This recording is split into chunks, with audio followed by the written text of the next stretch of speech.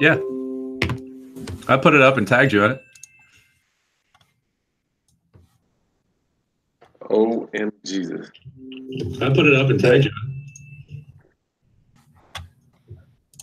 Derek OM Jesus. I put it up and tagged you.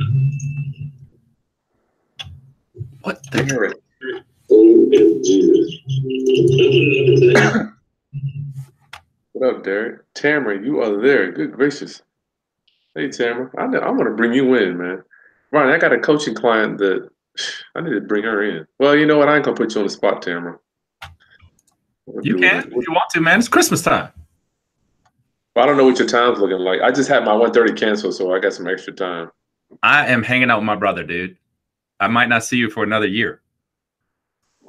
I wish my class, this person, I don't even, we don't even, I've probably talked to you over the last two months more than I talked to you in the last 20 years.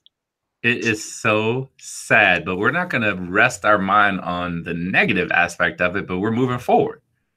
I just love to just wrap my mind around it. It's, it's how things can change overnight. It did happen overnight, and I have a lot of Kris Haskins to thank for that. Thank you for caring enough about your older brother to want to hang out with me, man. You know what's weird, man? I've been doing a lot of research about the market. You know, class. We're gonna give you guys a few more minutes. I've been researching the market, Ronnie, and if you're on the internet, if you're not using the tools on the internet, I really, in my opinion, you're gonna be out of business soon. I've been watching your paradigm shift as I watch your videos with Eddie, and even you. You're like text messaging, and that's so funny. You had that video the other day because I was just approached about text messaging, and in my mind, I'm like, I don't want to bug my customers. I don't want to, but I got to start at least opening my mind to it, to look at it, to to see how I can use it. You know? Right. You're driving down the street. All I see is this. Yeah. You're driving car. I promise you, when I go to the bathroom, people are taking a shit, dude, or taking a they they're, they're at the toilet stalls, Ronnie. looking at their phone. Has have you ever seen that? Yes, you can't get people to answer emails for the most part, but they always look at their text mess- messages. Dude, if you're not in this, if you're not on this, God, that just you know my whole outlook on things, man. If you're not on this phone, dude, you're gonna be out of business, man. And I, I, as I'm walking around town, sometimes I'm a looker, right? I'll just go to Walmart and just hang out at the bench. When I go to Target, people shopping, they're pushing their carts, Ronnie. You know, I mean, it's just. I know. I was. I'm like you walking and texting. You walking and texting. Watch out. I really think that it's coming, man. You know. You know what it's really going to go to, Chris? It's going to go to implants. This well, they're going to bypass the Google Glass and go right to implants. So you're just walking around and you can just see it scrolling up your eye. Oh man, that's nasty. Yeah, that's not nasty. in our lifetime, but it's going to happen. Anyway, well, today, hey class, greetings class. Let me see who's here real quick. Make sure I got my live thing on. Hey, Tamara, Roberto, what up, what up, what up, what up? Talox, hey, and Andre, what's up? Good morning, good morning. Ronnie, thank you for your time. My name, if you do not know me, is Kris Haskins. My ministry, my mission is to raise your financial literacy through real estate investing and entrepreneurship. Today, Fridays, I get to hang out with my brother, Ronnie Haskins, has been in the automotive business in a car dealer since the late 1990s. He knows a little bit about business and staying in business. What's up, my brother? What's up, Christopher Haskins? How you doing, class? Yeah, I'm happy to be here today. It's the holiday season. It's Christmas time. And I just want, I got some specific questions for you today about how you uh, handle and find the secrets to your business through all the hard work you put in. So I'm in the class today too, because I, I, I can't wait to hear you drop some knowledge today. Yeah, me too. I've learned so much. Every time I talk to you, it's like stuff I don't think about. Class, if you want us, I got to give you some quick commercials, shout outs. Tonight, we're doing a master class on text message marketing with Eddie. If you want to join that class, I will put a link in the bottom in the description as my brother's talking. I didn't put it in there yet. If you want to join us for that class, it is a paid class tonight. Uh, is going to be holding that how to locate sellers with text marketing, text message marketing tomorrow I'm going to be doing a live event at one of my flips. So I'll put my email address in the description. Also, if you want to come to one of our flips, you can see how we get down with construction. Oh, that sounds great. Yeah, Ronnie. So we're talking about the secrets in the work. The secrets in the work. You came to this epiphany last night as we were talking. There's one thing I like to hang out with professional people. I get to borrow your ideas. I don't care about borrowing anything from you right now, but your ideas. Yeah, I mean that's sort of the magic is everybody thinks it's all about the money, but it's all about the the ideas. So you came to this epiphany. What were you? You want to discuss what you were doing at the time, and you're trying to mold Jude, or you want to move forward to the business aspect of it? No, I can talk to you. it. It was I was sitting with my son Jude, and we were working on his sixth grade math. And I can just try to paint this picture for you. It was basically uh, multiplication of fractions. So, you know, you have one and one eighth times five and six eighths. That equals a number. And so he was filling in a riddle, right? So every uh, 10 equations, each equations gives you a number. That number associates in the legend of the test with a letter. So you take the number 28 and you go, oh, that's an A. And then you put that in the blank spot. And it's spelled out the answer to the riddle. Well, halfway through the riddle, Jude is like, "Oh, Dad, I think I can guess the answer." And then I'm like, "Yeah, you probably can, but the magic is in doing the actual equations. That's where the the learning is, and that's where all the secrets are." So when I saw him doing that, I was like, "Man, yeah, you can guess through life. You can just guess and pick it up and borrow from this person or emulate LeBron James on the court, but you can't get as good as LeBron James without putting in the work." Mm-hmm. So that equation that you was working out, that particular one wasn't the most challenging. Correct. But if you were to apply the actual steps to the more challenge, are you saying that, that when the problems get more challenging, you have to have the same steps to find the answers? You will learn the fundamentals. Like for you, let's use an example of all the people in your class talking about costs when it comes to repairs. You I've seen you do videos on cost of repairs. Well, you can read a book on how much wood is going to cost you. Oh shit. You know, you can you can watch one of your videos, you know, you can do these little things, but nothing is better than when you walk into a house and you can visualize, oh my goodness, it needs this much wood, that's going to be about $500. This is about $600 and you can do the equations in your mind before you even have to go even think about making money on the property. The only way you can get that knowledge and get those secrets, like when you're looking around a room at how much it's going to cost you, is by putting in the work, showing up at the houses. Does that make any more sense? Yeah, you know, there's a big push in my industry, Ronnie, something called virtual investing, where people they don't even want to leave their living room on it. They're trying to estimate repairs, and I'm not mad at it but they are doing stuff online now, and I'm like, dude, you're gonna lose your shirt. You write a check for hundred thousand dollars. You think you're gonna know what these repairs are? I think that's why this class is so important to me. It's very, very difficult right now for me to articulate it. But what you're talking about is where society is moving. So if you're in this class, you want to become an investor, you want to be a car guy like me, uh, trust me, you need to learn the, the hard lessons, the mundane things and then later on, like I heard Chris say this, he goes, "Yeah, uh, duplexes are great. I don't have a lot of them, but I'm moving in that direction." There's a reason why he's not in duplexes right now because he is mastering A and then moving to B. You know, and then eventually you get to the point where you're like, "Yeah, here's a hundred grand. I know you. I know all the numbers. I got it right here. That's gonna make me thirty-five thousand dollars." You're right. You, don't, don't wake up you don't wake up with that one, Ronnie. I, you know, man, it's so weird how when we talk to each other, we are this person now, but you know, 15 years ago, I don't want, you know, any, I don't want anyone to think that ah, I learned this stuff overnight, you know, or even for you, it's like the so many of the skills that we have developed has taken. I mean, good God, I mean, 15,000 hours of putting in the work.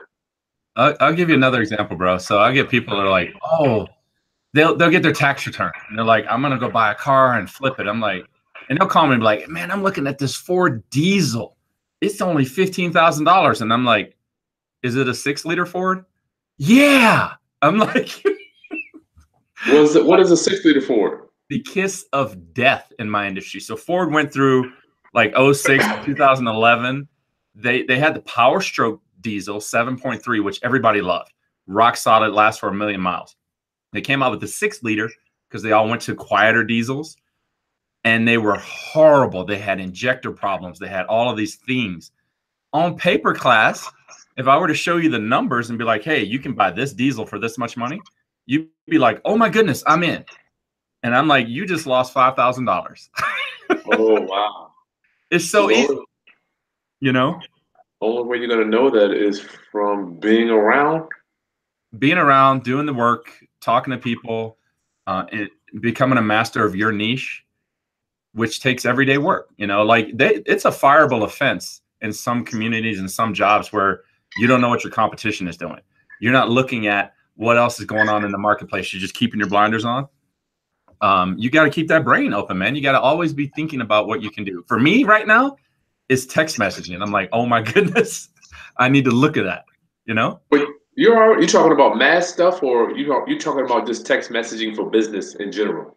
I'm talking about like I have already been approached for like a couple of years now about spending money on text messaging. You buy a car for me, right? Four weeks later, and you know I can't get you on the phone. It's hard to get people on the phone nowadays. Hey, I need to talk to you or whatever but I can automatically send you a text message that says, Chris, your title work is complete. Go to the DMV and pay for your license plates. You know, there's all kinds of applications. So I am like, I, I need to start. I was a little closed minded, and I think I need to open my mind to looking at it a little bit deeper. You know, I hate technology. I freaking hate it, man. I mean, I want to just be the guy sending out my letters, buying houses, but technology doesn't care whether I like it or not. Yeah, I mean, it doesn't matter if you like it you can still be a hater of technology. But you, if you're going to be in business, what is your client? What are your clients doing? You're right. I only want to work with people that hate technology. Good luck, bro. You have mom, dad. but let me rewind though. I did a, a, consultation yesterday with a client out in San Francisco, northern, close to Sacramento. He doesn't have a social media page. And we were discussing how he was going to meet a uh, meet a mate. You know, even going on dating. I'm like, dude, I don't even know. Do I mean, do you even? Everybody meets everybody online now, right? I don't even know. I'll give you a better comp. Uh, uh, well, not a better. I'll give you another one. I have a. I had a guy call me because I'm hiring right now, and so I had a guy call me, and he's like, "Hey, I'm ready to get out of the the regular car business and become a broker." And I'm like, "Okay, how are you going to market yourself?" Do you have a good social following? I, I don't like doing Facebook. Do you have LinkedIn? Oh, no. I like LinkedIn. I'm like, so are you planning on knocking on door to door in the whole neighborhood? You could. You could do that. You could get killed. but you know, I think I think what we're saying here with regards to technology is like whether you like it or not, it's happening. Yeah. You know, and you and think about it, Chris. It doesn't mean you have to love it. You don't have to love it. I don't. But you know, I think that's going to be another. That segues into our topic for the day: work. I have learned. If you were to look at me a year ago, I you know I've just been doing YouTube for about a year. I have learned so much just from pounding out videos every week, cranking out crap. People emailing me. I would have never known this stuff if we wouldn't start doing YouTube. Yeah, yeah, and I, I think that you know I got I wrote a couple of things down that we can talk about, but I'm hoping people really. It's a tough title. You know, the secrets to the business are in the work. I mean, but I'm hoping to share with them a little bit of things today that you know you can get used to it. Go, yeah, hit it. You got a bullet. I got one. Or I got some stuff in my head. Yo, you can shoot it. Go ahead and get rolling, brother. So the first thing I want to share with you guys today is the programming of your mind. You know, in, you have to have a successful mindset in order to truly be successful. And when I started out, and it was very difficult, I didn't have any customers, I didn't have any clients. You know, I had to program my brain to teach myself that I was going to be a winner. I'm going to win. And you may find it a little hokey or mystical or mythical, but try it for a week. Every time you're brushing your teeth, when you're looking in the mirror, I'm going to win today. It's going to be a great day. You know, like before you walk out of the door to get in your car, tell yourself it's going to be a great day. And then you start applying that to, you know, in Chris's business and you guys that are looking at real estate investing, how many phone calls you're making, how many things you're doing, and you still have that mindset of it's gonna, man, it's gonna be a great day.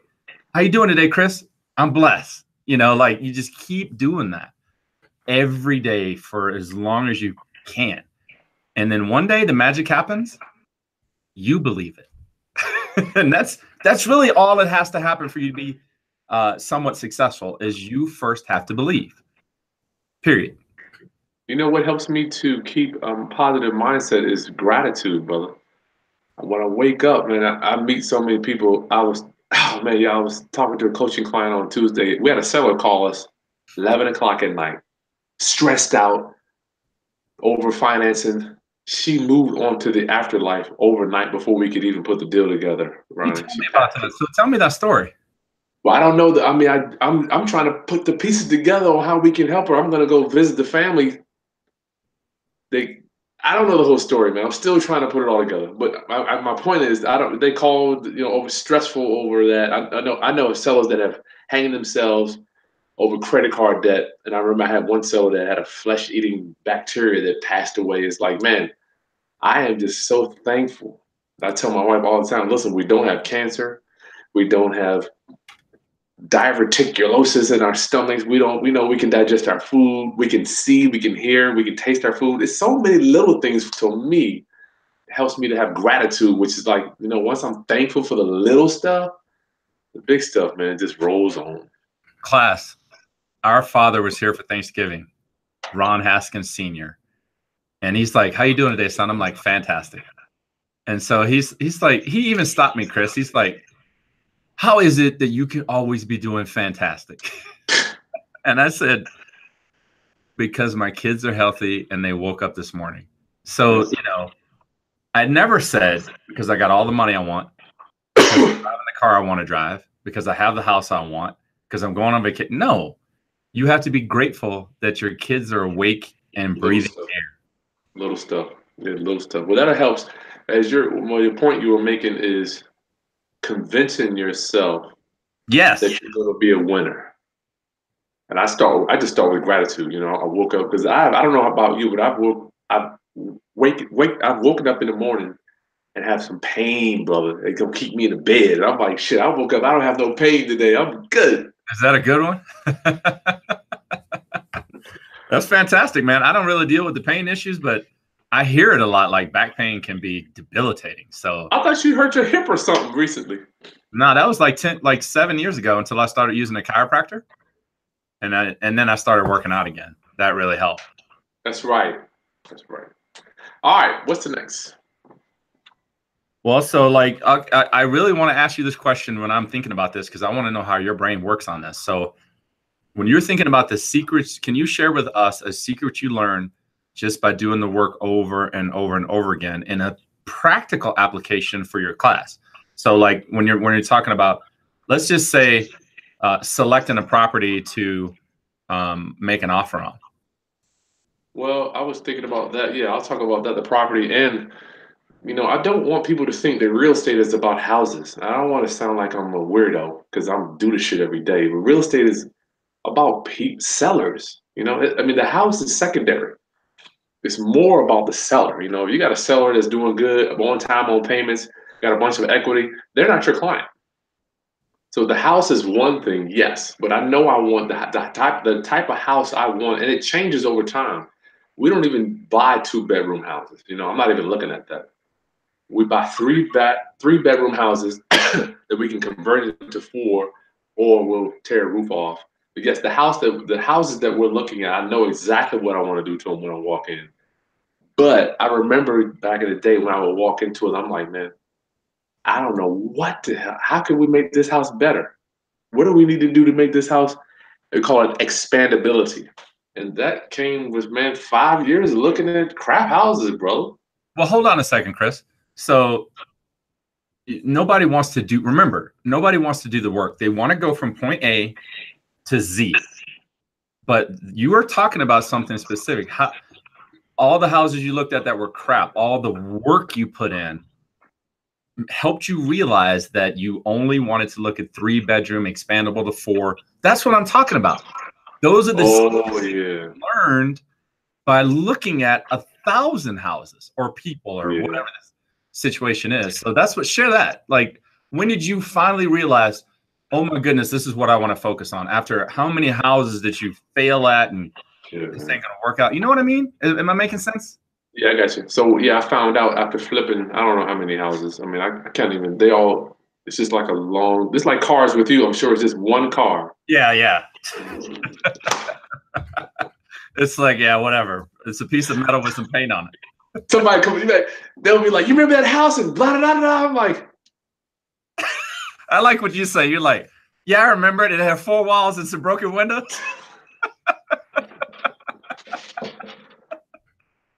it had four walls and a roof. Man, shoot. But yeah, I it clicked on me. I remember the day I held on to a house after doing a lot of houses. We used to do three bedrooms, one bath. Yeah. back in the day. And I'm like, you know, I'm the man, right? You don't know how stupid you are until the market changes or Mr. Market will tell you, you ain't, you know what? Come here, kid. Let me show you something. Yeah. Yeah, that's happened to me. I've gone through a few of them. We got one coming up.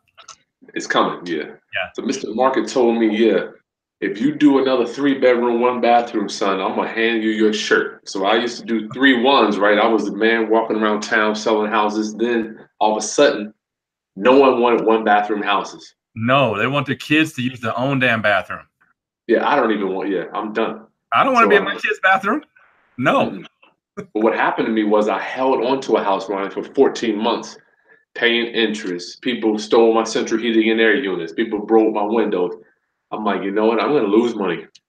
Wow. Lose money. But that just came with time. Look, doing doing so many of them, and then that market shift, and I'm like, you know what? No more. Never again will you see me in a one bathroom house ever.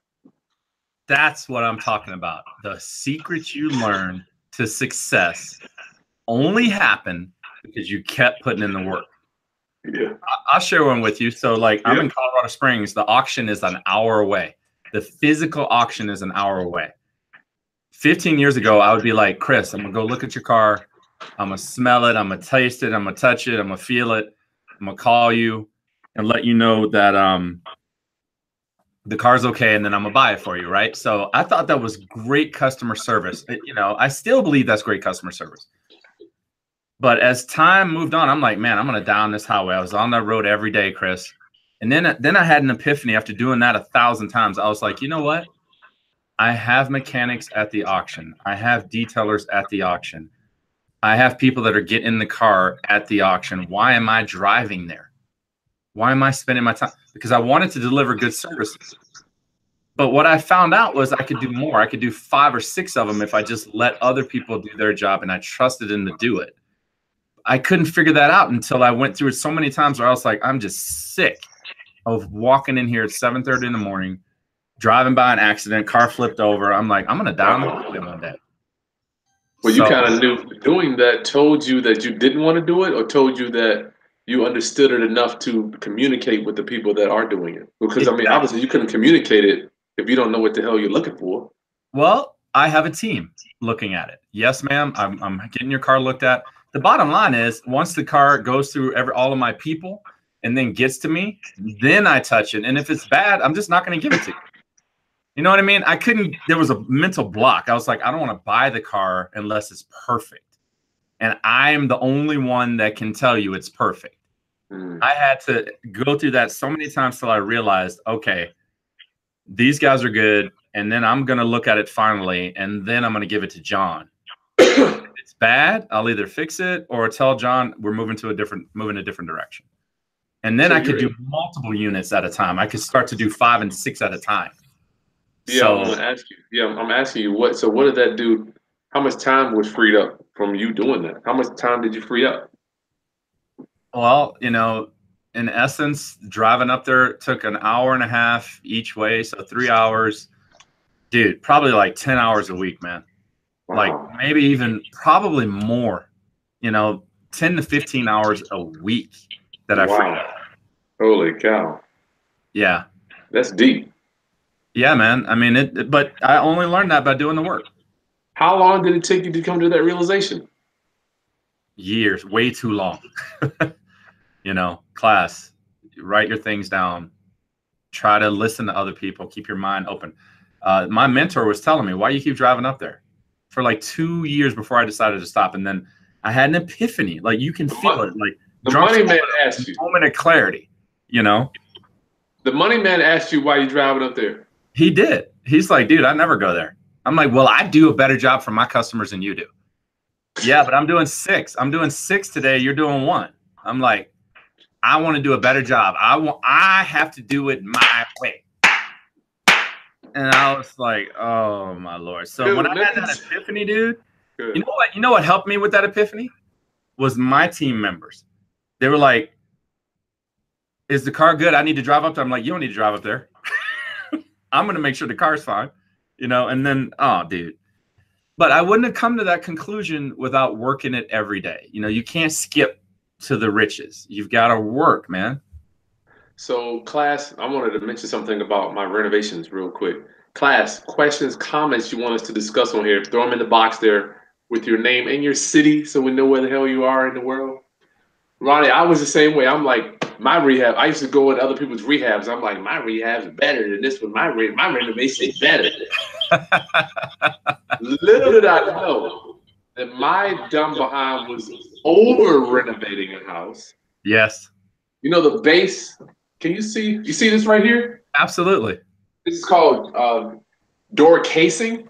Yeah, This is real wood here. You don't. You don't want to. Yeah, this is. They got cheaper stuff you can use, but I would go in and rip out all the casing in the house, brother. And I'm Is like, I'm giving my huh? is this back when you were like Ronnie? We got speakers in the ceilings. We got speakers in the walls.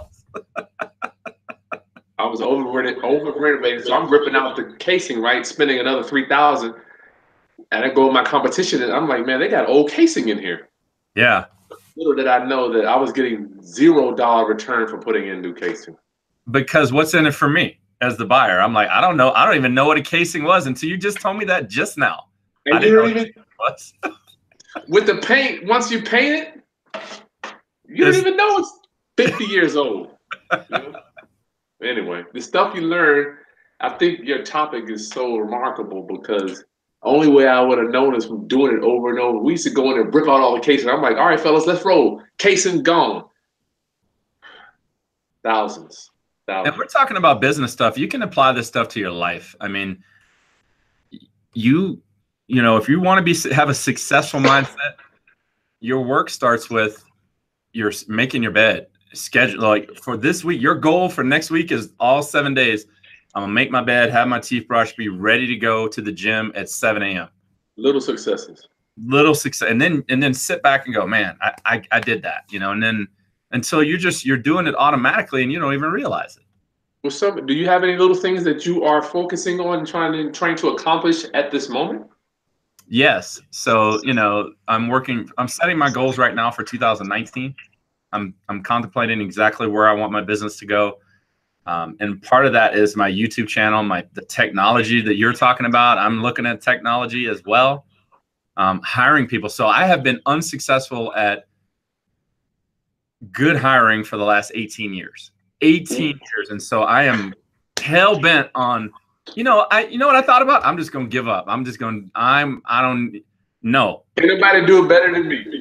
I'm not gonna have that attitude. I am gonna fight through this. I am gonna take gonna baby steps. And we're gonna do a video sometime in 19. I'm gonna be like, okay, I've gotten this far, you know.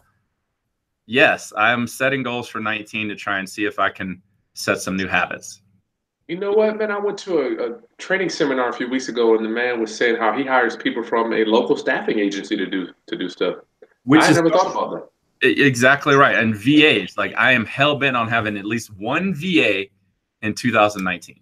There you go. Good for you, man. That's a baby step. That, I mean, the baby steps is the key, is the dude. The baby steps is the key. For my for my YouTube, I'm like, dude, if I could just do one video a week. I know people that put out a video a day. Wow. It doesn't really Yeah. equate to success though. I mean, quality over quantity. I mean, you know, Well, it depends on. Yeah, I mean, everybody's threshold is different. But if I mean, the guy I'm referring to, he's uh, doing a lot of consultations, so we're just recording consultations phone calls. It's not a like thing here. Okay. But um, I've, I'm just saying we are here today, Ronnie, because I started doing that one week thing. Is like, and my boy was like, "Chris, either you're persistent or you're non-existent." Well, Chris, listen, man. I think that we got our work ethic from our father and our mother, you know, and that's why when you got into the music industry, you were consistent, and we have that, right? And so, but that leads to. I was watching this video on Facebook, guys. I'll try to post the link in the comments if I can, if it'll let me. But it was like when you're your first seven years of your life, you're programmed, and we've been talking about like how your brain thinks about money. The good news is if you have a mentality that doesn't think about money well or business well, or you can't set good habits, here's the good news. You can change that through repetition. Repetition. I call it eating your vegetables, man. You know, when people like for me, it's like, oh man, I need to I need to make a few cold calls this week to meet some new people. I just like I try to get it done early. Like I get it done at 10 a.m. And then I go, okay, great. That's over with. I've eaten my vegetables. Now I can go ahead and eat the fried chicken. That's probably a bad analogy. We've been yapping for 30 minutes. Let's see what we got. If we have any questions here on our slideshow here. Class, thank you for joining me and my brother. I don't think we have any questions today, or maybe comments. Derek, Roberto, Andre. What's up, Andre? Pole. Hey, Forever Noble's back. You got a picture now. What up, Forever Noble? Rosanna, hey, hey, hey, Shirley, checking in from the West Texas. Chris. Programming down the fish, programming your mind. Yes. Nick, I think you're down in Texas too. You're thankful for your help. I like that. Great points. Daniel, learning something new today. Good for you, brother. Well, the good thing about my brother, I was thinking about you this morning, Ronnie. I'm like, I'm not saying, I think every man needs a failure early. Walt Disney was like, man, I think every man needs to fail so he can get forward quickly. I'm just thinking about you. I always think about when I was in college. I think about you being in college, and it was like, man, you left school and then you just took off. It just wasn't for. It's not for everybody, you know. Is that what you saw? Well, I don't know. I mean, all I, yeah, when when I when I when you left Norfolk State, all I remember is you know the report card. That was a failure. I didn't even get an F class.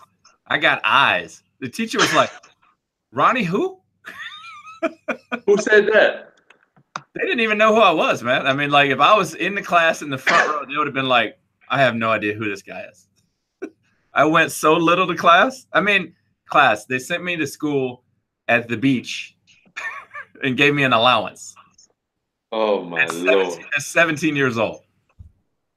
It unreal. not going to work out. But I think that really catapulted you, though. What were you thinking when you left there? What was your mindset as you were leaving Norfolk? I cannot attribute any business business business success to my mindset at that point in time. My mindset was I was listening to Public Enemy. It took a nation of millions to hold us back, you know, a fear of black planet. And I'm like, look, I me and dad were not getting along. So I was like, I want to do what would dad be pissed off at? Oh, okay, I'm gonna join the army. I am not gonna be the first Haskins to finish college. I'm going into the army little did I know that's when my successes started was the think about what we are just talking about today. I had to be on time. I had to shine my shoes. I had to go to formation. I had to do PT every day. I had to do all of this stuff repetitively until I, I mastered it. I was a really good soldier. Gotcha. So that it didn't change until you did that. Exactly. That's cool, man. So you don't. Well, still, man. I'm like, uh, I look at my failures. I'm not. I don't. I don't know what you consider a failure, but a lot, a lot of the failures that I've had, I've been fired from jobs. I've been fired about seven times. You know, people call me in the office. It's just like, you know what? Thank you for your time. Nice knowing you. Wow. That's has I call it failures, but when I look back, it just made me bulletproof to getting fired. I just didn't care. Yeah. Like, um, you fire me, all right, we'll go look for okay, now. I got to go look for another, another gig. You know, it was like, uh, and then it kind of went over to sales.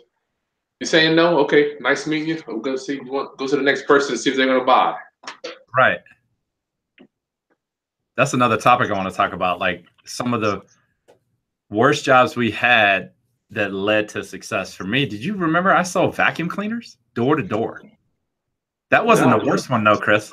The worst one is I sold perfume. Was it In- Mary Kay? Nah, man, they would take us. They had this knockoff, like we got Drakkar, we got this, we got this. They would give me all these bottles, and they were like, "Get in the van." And so I would get in the van, looked like a daggone criminal van, right? They drive us to the front of the mall. You know, remember what a mall is, guys? Like I, I don't go to the mall anymore, but they drop me off and go, "Go sell your product." So I'd be walking around the mall going, "Hey, Chris, what kind of cologne do you like?" You might That get was- beat the head now. they could kill you. it was crazy, man. But So we'll talk about that. We'll do jobs, past jobs, because I got a whole bunch of them that have made me who I am today. that was the worst. All right, we got one. How do you Talox? I don't know. I don't know. Just say if that's your name, Talox. How do you balance a full time corporate job and real estate wholesaling on the side? How do you balance? That's an excellent question. Wow. Talox, I want to be honest with you. I have never had to do that. I do not know.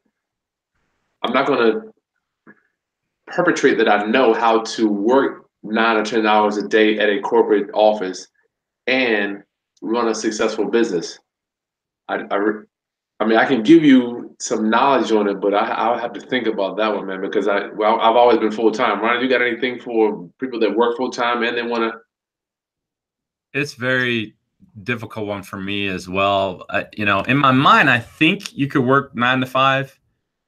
And it's, once you- once again, back to what we're talking about today. If you set goals and your goals to get better at being a real estate investor, and your job is funding it, hell, Daymond John did that. He worked at Red Lobster while he was building FUBU.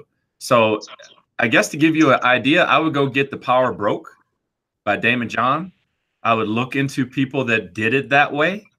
But Chris and I, I mean, I was just 100%. I I'm I struggle with that one. I'm like, I don't know if you can really I don't you can do it because people have done it, but I don't really have a blueprint for you to do it. So I would look at authors like Daymond John. I'm sorry, yeah, Ronnie. That oh man, I think Talux, you have a phenomenal topic, and I think that's probably the majority of our viewers in general. Yes. And I did a whole video training on it. Let me see if I can find it. If you go through my channel, go through. Uh, I interviewed a wholesaler that works at the Newport News shipyard here in Newport News. He works full time and he does wholesaling. And what he told me was he sets all his home appointments up after five when he gets off work. So his quote was he had a quote that he told me, Talix. I'm just going to relate to you. It's not mine. He says you have to work as hard on your five to nine that you do on your nine to five. I'll repeat that. You got to work as hard as you do on your nine to five that you want to do for your five to nine. So those, those three hours you have or four hours when you get off, you're gonna have to put eight hours of work into those three. You know, so if you're willing to do that, I'm sure. I'm, I mean, this dude's doing it. It can be done. It can be done. You see the Sam, next what up, Sam? Anything else? I don't see too many questions today. Questions today. That's a good question right here by um TB Williams. Oh yeah, she's a client. You got Al Gordon first. You don't skip Al. Oh, I missed that one. He's right below um I see it. Merry Christmas, class. Any questions you got, put them in a box for me and my brother to see what other what uh, whatever words of wisdom from him being in the business since 1990s he can drop on you. So Al, you're thinking about doing a real estate deal in Detroit, purchasing a rental property while you stay in. I'm assuming that's L.A. Cal- so California. Yeah. Um, I mean, my the first thing that comes to my mind is, Read the question, Ron. I didn't see, I didn't hear the question. What is your advice? He says, what is your advice for someone thinking about doing a real estate deal in Detroit living in LA. Oh, okay, okay. Can be I done. got my thoughts on it, but I mean, like, you need to know the market. I mean, I have had success with a rental property out of state myself, but I have people, I have boots on the ground. So I have people that can monitor that property, tell me when I need to put money into that property, uh, manage the rents, things of that nature. But you know, just I don't think once again we're talking about the work you put in. So if you're a, skilled investor, you know what you're doing. Okay, you could have some success doing that in a in a more uh, real estate friendly neighborhood. But if you just want to put throw money at it and and then hopefully get a return, I'm not sure that'll work out for you. no, Al, I'm going to tell you, I have one of my millionaire mentors try to do some investing in Atlanta. He bought a 40 unit complex, and when he closed on it, they fraudulently gave him the paid off water bill. After he bought it, he found out that he that he that the water bill was fifty thousand dollars. So he ended up losing his shirt on this one transaction. So it's really about the people. And my brother's telling you he has property out of town. I don't know all of his business, but I'm sure he the people that he deal that, that he deals with, he trusts them 100 percent that what they're saying is facts, and they're not gonna go stab him in the back or do anything that lacks integrity. So until you have that relationship, Al, I wouldn't. Good God, I wouldn't have not advised that yet. How about TB Williams? Do you think success is sometimes found by being unconventional? What are your thoughts on that, Chris?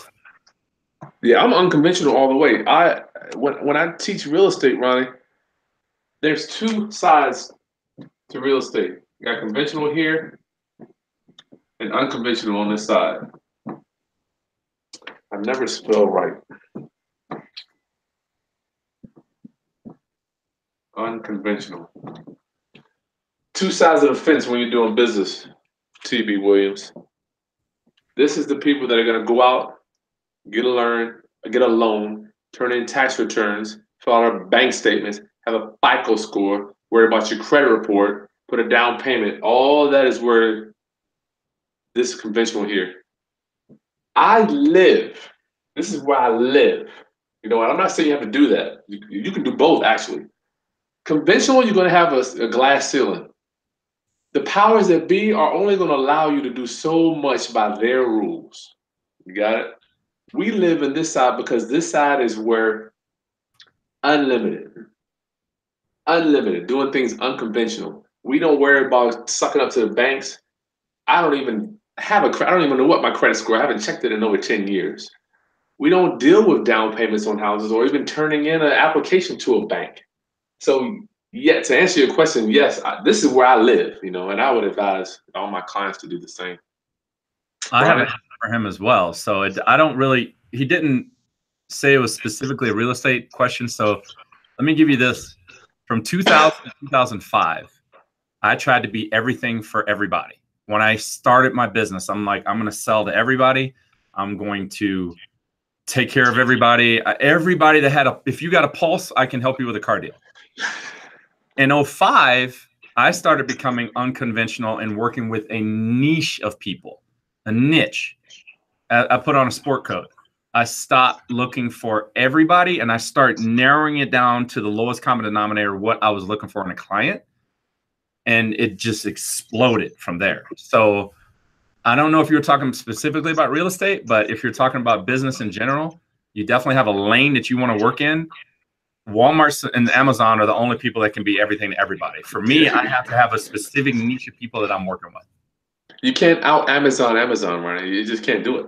It took five years for me to realize that, bro. Like we're just, I mean, I don't know why I didn't think about that earlier. It took five years for me to realize I couldn't be the cheapest. I wanted to be the cheapest. I was like, I don't have the overhead. I can, I'm gonna get you a better deal.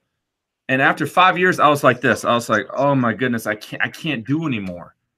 And I realized, wow, Walmart, Sam Walton is the only one that wins this game. Period. You can't. You can't compete. You can't compete. mean- so you said, Yeah. go ahead. If you have 400 billion dollars you can compete and you can hire jeff bezos the owner of amazon yeah sure if that's if that's who you are go ahead you know but for us normal people you're going to get crushed if you're just trying to be everything to everybody you've got to have a niche you know, or it's So not you to saying- unconventional. Is that yeah? Okay, so we're We're speaking the down. same thing, different application. yeah, I got you. I like that. So yeah, you gotta have. Remember, Ryan, we had a big talk about that. Who who is your avatar? Who the hell you want to do business with? You know, it ain't everybody. It ain't everybody, and it's okay. You you will. It's one of the most wonderful feelings you will have in your life as a business owner when you look at somebody and realize you're not my client. I now I don't even have to worry about selling to you. Now let's just be friends. You know, and most of the time they'll try and talk you into working with them. And you're like, I'm good, man. I'm good. That is a that is a mindset that, good God, it keeps me at peace. It does. You know, I I remember early. Once again, the secret in the work. Earlier in my career, I would be upset when I couldn't convince someone why I was the best option. Later in my career, I have learned the secret that I can figure out in 20 minutes if you're right for me or not. I mean, and that's important. It's like I want to help you, but I only want to help you if you're right for me. You know, if you're not right, a good fit for me, I I am strong enough at this stage to go, I'm good. You know? I'm good. Daniel Tangpour says, "I like the saying, every man needs to fail early." Yes, I didn't. I can't claim that one, brother. That's from Walt Disney. We can learn from their mistakes. Now the questions coming in. Thank you, Celeste. I appreciate the comment. Read it out, Ronnie. I don't hear it. You said Celeste Hill. She's always on here. She says, We are blessed to be the recipients of all this priceless content. Appreciate you taking time out. We know you're busy. Uh, it speaks a lot to your character. Yeah, thank you, Chris. Thanks, Celeste. And thank you, Celeste. Healing through inspiration. Yeah, you got the hard copy. They ordered my book, and I emailed them. It was in your spam. I told you it was in the spam. Healing. Good gracious, you got me running around town. Al Gordon, you live in LAOC area. I don't know what that is. What type of real estate investing are you thinking about? I think they're asking. Oh yeah, they're talking to each other. I'm on the verge of getting my first wholesale deal in about a week after getting into business in the past eight months. Okay, that's cool. Eight months is not bad. I know people have been doing this crap for three years and still grinding it out. Good job. Is wholesaling the best path to get started in real estate? That is from Sandrika Gilchrist. Is wholesaling the best path to get started in real estate? I guess that would be for me. Sandrika, hey, first, thank you for joining us today.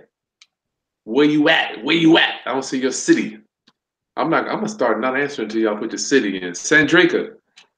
The good thing about wholesaling is, I, I as I get in, as I matriculate, thanks to Hampton University, I'm getting into this teacher mode, and I'm, I've learned that the longer you do something for so long, it's time for you. You can only make so much money doing business. It's time for you to start pouring into your industry. So we got on the left side without money, and on the right side with two ways to make money in real estate without money or with money. Sandrika. The good thing about wholesaling is you have you have to learn, it forces you to learn how to make money without money. I happen to come up through this school over here. The problem is if you start out and you have money, it gives you the opportunity to lose that money. Doing deals like which is where we are here, I've got all the training that I did without money. Now I can sink that capital into making money and turning over for me. But when I started, I learned how to do it without money. How do you do that? If you make money without money, it means you are supplying other investors with products, which is what you're going to do with wholesaling. And it tells you that yes, Sandrika, you get a check mark. You got to get check marks in life or arrow up. I always talk about arrow ups or arrows down. Once you start providing value for other investors like me, then it's going to tell you, you know what? I know how to create value in real estate as opposed to trying to buy value without the knowledge. So you're Right. creating value for other investors with wholesaling without none of your money before you start spending it. And over here, one mistake, you're done. Wipe you out. You're done. Ryan, what you what you got? I think that speaks exactly to what you're talking about.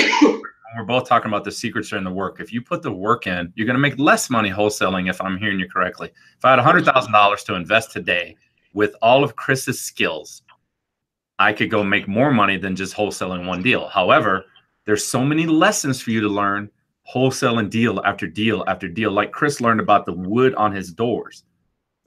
After five years, he's like, I can probably just paint those. Nobody's going to care. so when you go buy one, you can instantly walk to that house and go, okay, I'm ready to put my money into this. And I do not need to do those doors. All we got to do is paint them. But you're not going to get those secrets without all the work. Yeah. So Sandrika, yes, I would say if you got some capital, you scare me because you have the opportunity to lose that capital. I don't want you to lose it. Al Gordon asked, "Do you think the recession only hits certain markets?" Or he didn't say you, but do you think the recession only hits certain markets? So, I, you know, so there's two things that drive the stock market, guys: fear and greed. That's it. I mean, there's no other way around it. You have fear, and people start selling off, and you have greed, and people start buying everything. Those are the two things that control the market every for since the market's been created, and a recession is nothing to worry about. And it, you know, as far as it hitting certain markets, there's no denying that the recession hit Flint, Michigan, harder than it hit L.A. County or Orange County, California. I mean, there's just no doubt about it. But there's so many applications of why. I mean, uh, you know, the steel industry, the car industry. I mean, all of these different things.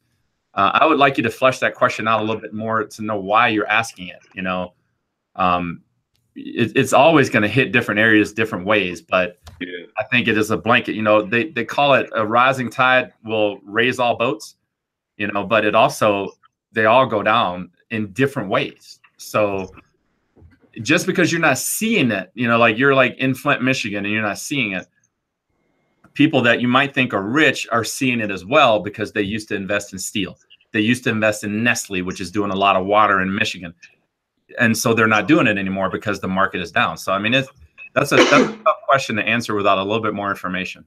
Yeah, I think generally speaking, Ronnie, Al, I know this. You know, it's weird. I I remember my mentor telling me that he loved recessions. He yes. loved recessions. I'm like, everything's on sale. Everything's on sale. I didn't understand it. You know, as we once again Hampton University, as we matriculate, I'm like, Ronnie, you and I have survived a recession. And I think I we should do a video several, on that. Several. Huh? I survived more than one. Like in '98, there was the tech bubble. That you guys are too young for that. But then I went through the last one, so it's been at least two, maybe three recessions I've been through. Wow. So, wow. Okay, I can only speak for the one, and I think Ronnie, I think uh, we need to do a video on some of the secrets that we did to survive recessions. Absolutely. Yeah, but I, am here to tell you, Al, I am looking forward to it. I, I can't believe I'm saying these words because when they were told to me, I'm like, dude, are you? Why would you look forward to a recession? I mean, everybody's. Now I'm looking at it like I am so prepared. Everything I'm, is on sale.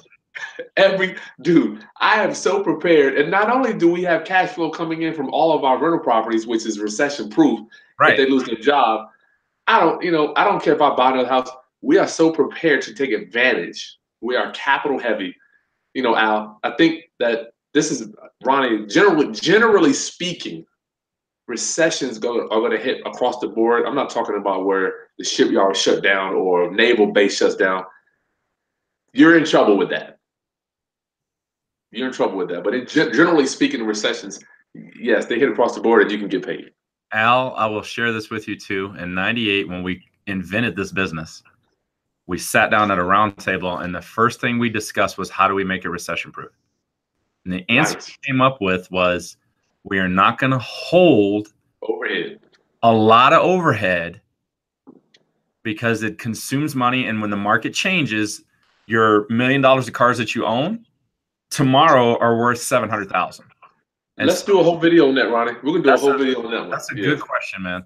That's a That's good. A good we'll, we'll segment on that one for next week, Ronnie, or week after that. We'll talk about that recession stuff. Lena Pena, is it possible to work a 95 job and still get in wholesaling? We just covered that. My brother and I full time. But yes, subject to is going to be a little slower, but it's going to create wealth. Don't forget, wholesaling does not create wealth. It's just a job. You're gonna stay broke doing wholesaling. I promise you.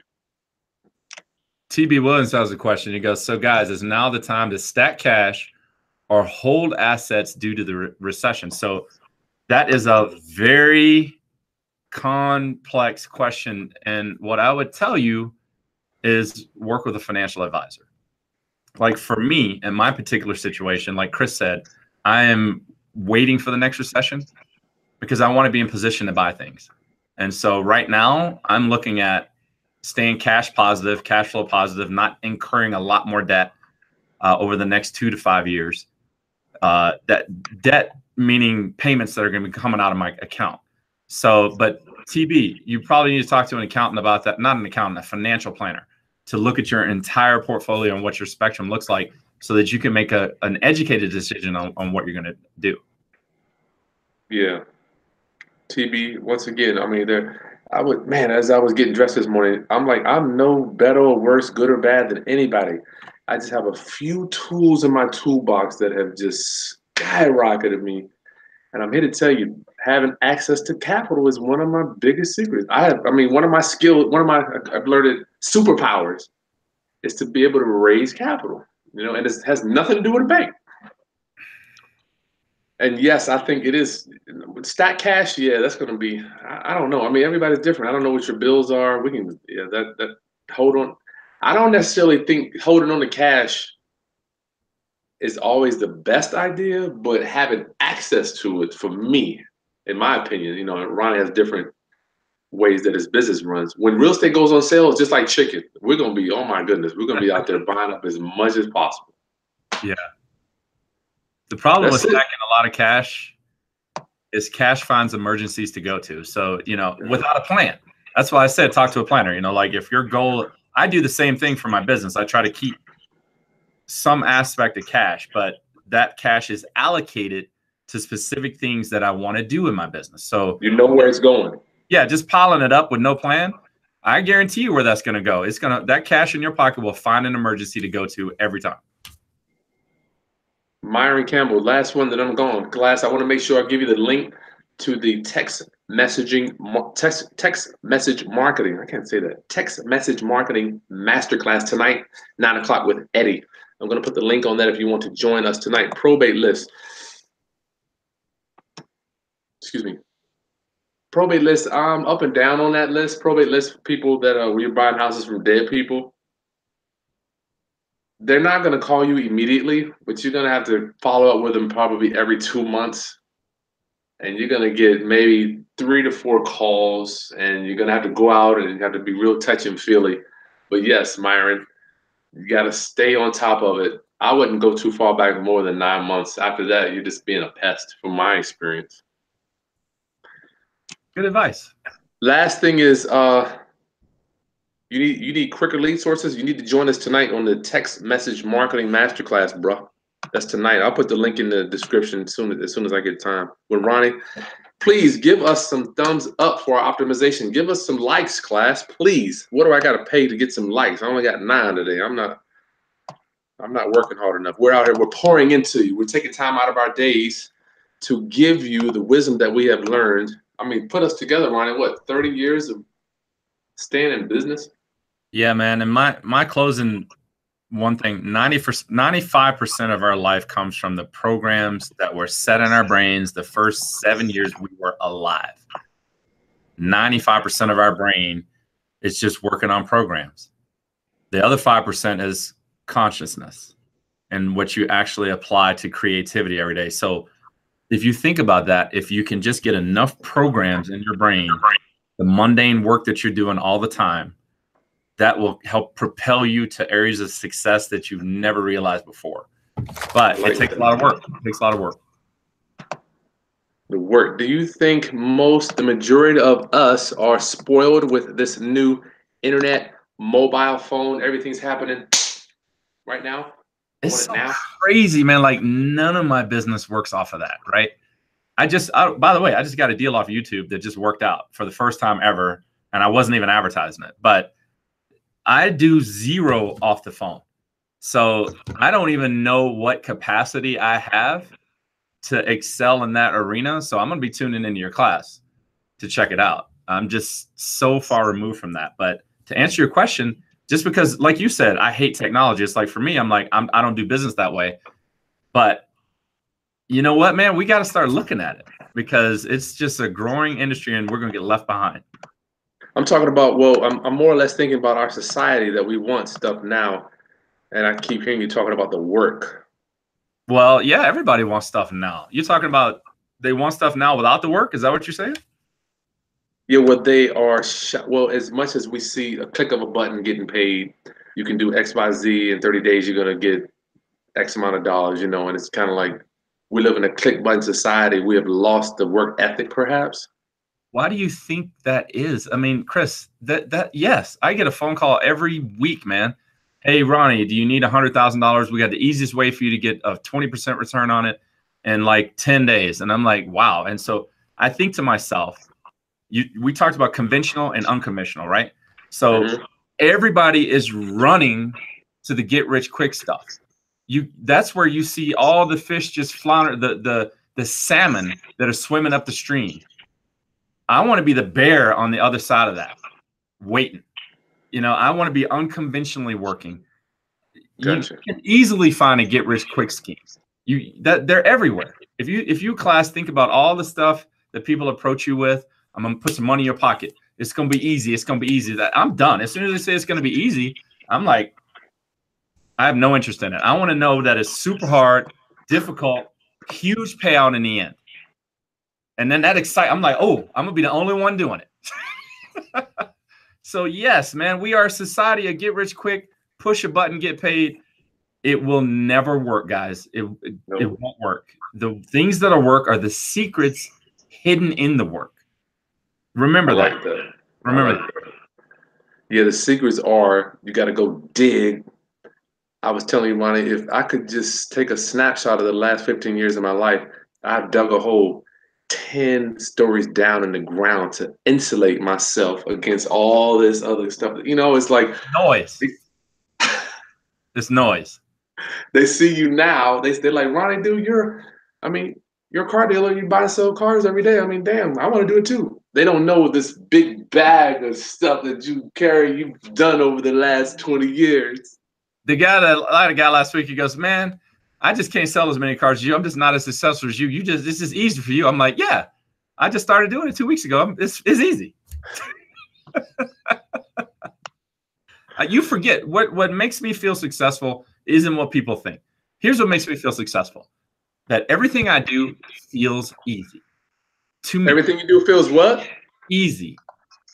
To me, at this 20 years of doing this, yep, making cold calls, knocking on doors, saying hi to people I don't know, all of that is just second nature to me. When I was a wide receiver playing football, running a five yard out, if you if anybody in the class knows football, running a five yard out eventually felt super easy to me. First time I ran it, I tripped and fell down.